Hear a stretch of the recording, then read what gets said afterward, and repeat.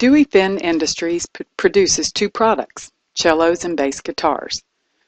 Dewey, the owner, expects to incur fixed costs of $90,000 next year and he expects sales to be 500 cellos and 2,000 bass guitars. The following data is available for the products. All right, so notice that we have Dewey Finn and he produces two products. So we have a multiple product uh, problem here. Anybody guess what movie this character is taken from? Dewey Finn? If you guessed School of Rock, you were right. All right, so here's what we know about his company. Cellos have sales of $200,000, bass guitars $800,000.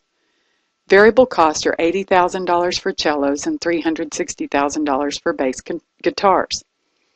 We are asked to compute the break-even point in dollars for the company. Well, when you have a multiple product company like this, to calculate the break-even, you need to know the overall contribution margin ratio, not just the contribution margin ratio of each individual product, but what it is for the entire company. So to figure that out, we'll go back to our original information. So if you'll look in your notes, you saw this. To complete that income statement, we'll create a total column out there on the far right, and we'll see that total sales are $1 million. Total variable costs are $440,000, and that will leave a contribution margin of $560,000. Now we could stop here, but later in the problem we are going to need to know income, so I'm going to go ahead and finish this income statement. We were told in the problem that fixed costs are $90,000. So this leaves operating income of $470,000. Now, when you see the income statement this way, you can see the problem with CVP analysis. We have one set of fixed costs, 90,000, that are used to produce two different things, cellos and bass guitars. And so because of this, we have to look at the overall break even within this segment of the business and then decide how much of the break even comes from cellos and how much comes from bass guitars. All right, the contribution margin ratio, you can see the contribution margin is $560,000. We would divide that by sales of a million dollars. So this computes to be a 50 56% contribution margin ratio. All right, we will use that to find our break even. And we will be computing this in total sales dollars. We will take the fixed cost of $90,000 plus zero desired profit at break even and we'll divide by the contribution margin ratio. Total fixed cost plus desired profit divided by the contribution margin ratio. This is the contribution margin ratio method. We find out that total sales have to be $160,714 to break even. Now that is from both cellos and bass guitars. But that's what sales need to be for us to break even.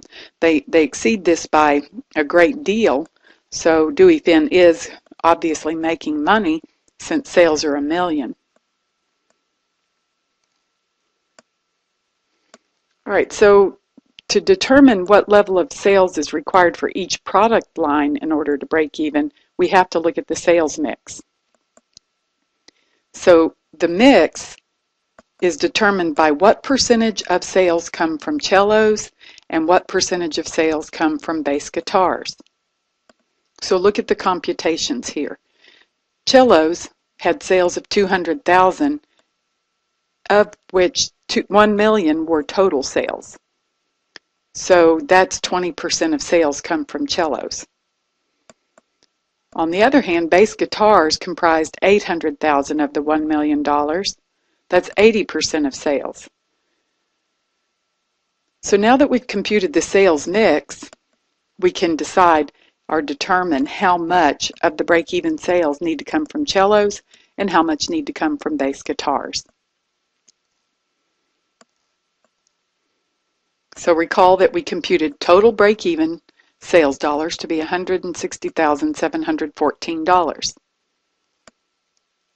So if we want to break this down by product line, 20% of that, 20% of 160,714 says that sales of cellos has to be $32,142.80. On the other hand, bass guitars are 80% of sales. So we will compute 80% times 160,714 and we find that sales of bass guitars must be $128,571.20. So this is the breakdown of the 160,714. Notice that that will total out to be your break-even point, but this is just specific to each product line.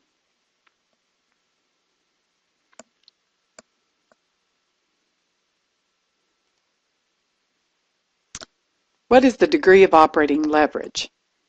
We'll have to do this for the entire company because we don't know fixed costs associated with each product line.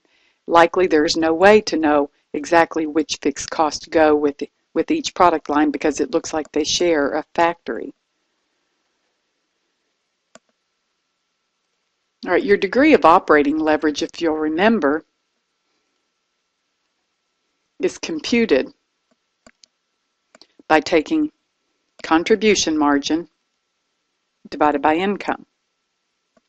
So if you look back in your notes, you'll see that we computed the contribution margin to be 560,000 and the income to be 470,000. So the degree of operating leverage is 1.19. Now what that means is if, say, sales increase 10%, profit would increase by 11.9%. You can refer back to a prior problem we worked to see that uh, worked out and how this is used. This is simply the calculation. The degree of operating leverage is 1.19. So in this problem, we did review CVP analysis for multiple product lines and the calculation for degree of operating leverage. Now that concludes our coverage of CVP analysis. Now is a good time for you to go work on your assignments and bring any questions to class. See you then.